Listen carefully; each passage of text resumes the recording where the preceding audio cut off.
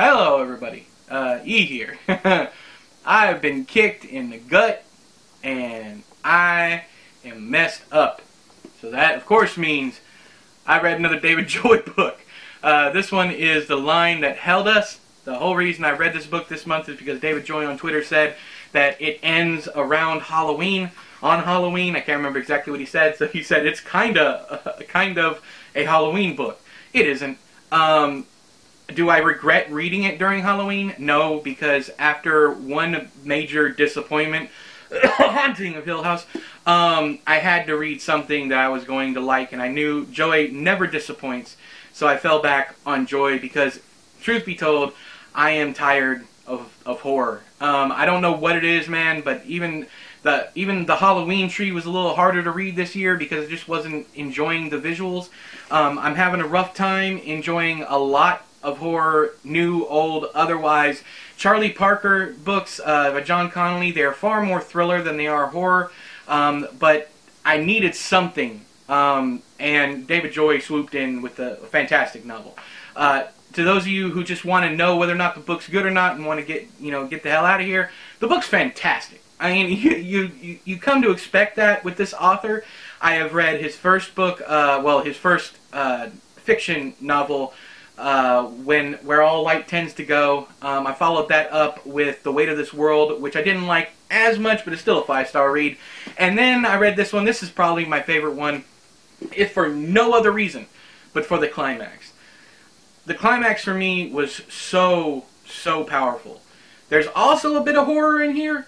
Um, I don't want to give anything away, but it has to do with a root cellar and stuff happening in the root cellar that disturbed the shit out of me. Um, it bothered me a lot uh, just reading those sections because it was emotionally powerful, but it also was icky, nasty, and it and it does I, You know, I say those kind of things, and people's minds they automatically go to like rape or something like that. It has nothing to do with that. But there, there's a scene. There's several scenes in a root cellar, and that it bothered me because of the attachment in those scenes. Uh, then you get to the end of the book and once again, I don't know how Joy keeps doing this, but you read his first book and you come to expect a certain ending. Just off that first book. You're like, okay, he writes a certain kind of book and that's what we're going to get. Then you read his next book and you don't get that. And then you come, you, you're uh, by the time you get to the third one, so I highly suggest you read these in order. By the time you get to the third one, you're really on unstable ground. And he does a really good job of just shaking the shit of the ground, just really just rocking you. This book, I I am just I've just now finished it this evening and I am in awe. I have never read an author that whose whose work has had this much punch and was this different.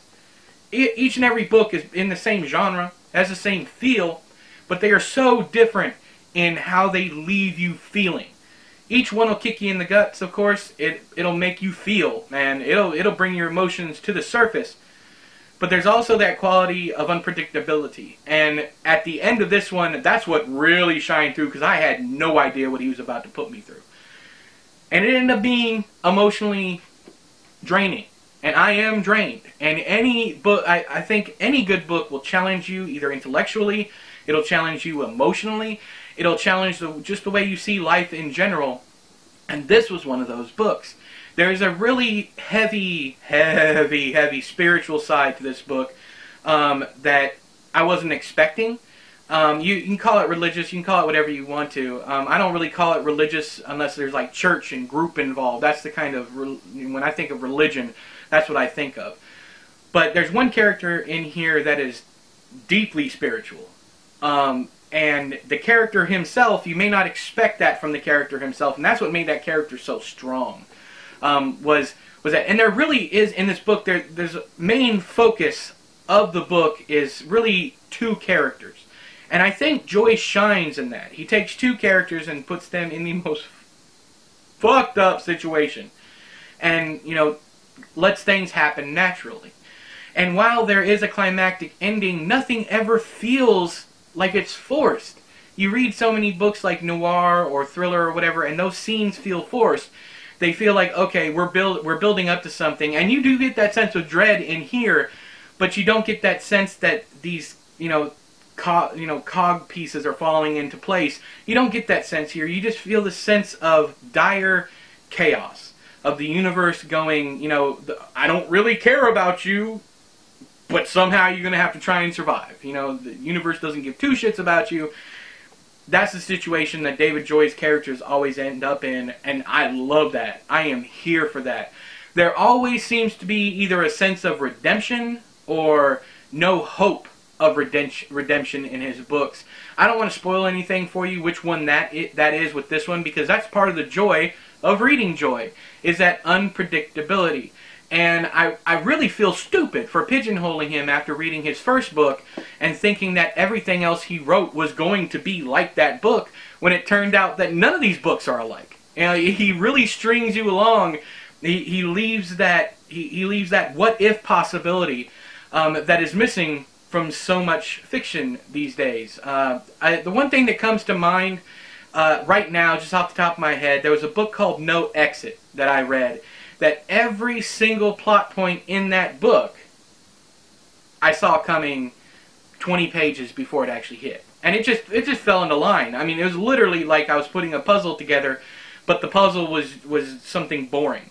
Um, I, I, wish I had a better analogy than that, but that's that's how it felt. I was going uh, like like I, like me, a grown you know 39 year old man was trying to put together an eight piece children puzzle. That's what it felt like. With this, it feels like I'm putting together a puzzle that all the parts aren't there, but you still have a sense of completion. That's the best I can say about David Joy's work because you never see it coming. You don't know how these pieces fit, and when the pieces do fit, they don't fit in the way that you think that they would fit. It's a really a brilliant piece of writing, and I don't know how he continues to do it. Um, that he has another book that he just announced, uh, show who's showing off the uh, ARC, the pink ARC copy, and I'm laughing because he goes, "It's a cover reveal," when it was just like a pink cover with, uh, I think it's "When These Mountains Burn." I believe that's it. I remember the uh, the the I remember the mountains burn. I remember those two parts about it. But I'm I'm really looking forward to that one. But have you read uh, The Line That Held Us or any of Joy's work?